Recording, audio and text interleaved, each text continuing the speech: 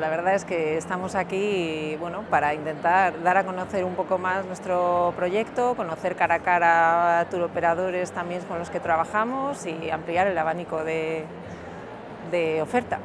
Pues yo creo que nos va a dar una visión más amplia de nuestro entorno, de nuestro entorno, de, bueno, de nuestros compañeros, bodegas, hoteles y demás, y de, también de tener un feedback fresco de turoperadores y agencias que vienen a, visitarnos. Y es un lujo estar aquí y ver tanta gente eh, bueno, dedicada al enoturismo, con ganas de probar vino y de disfrutar de, de toda la cultura del vino. Sí.